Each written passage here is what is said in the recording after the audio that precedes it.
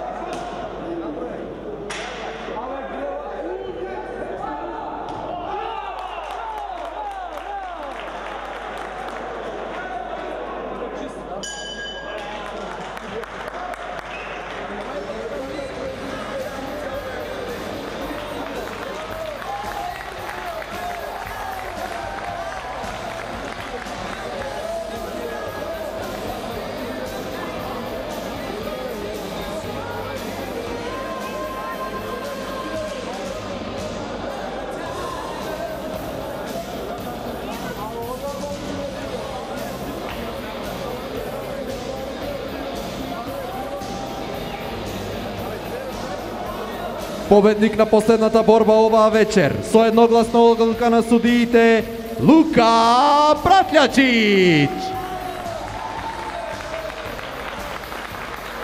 И не заборавајте утре повторно во 17 часот Сава Јордан Мијалков изборно првенство за Лига на Македонија во бокс. И петото коло од регионалната боксерска лига на отворено 7 и 8 мај канал 77. Ви благодариме и се гледаме повторно. Чао!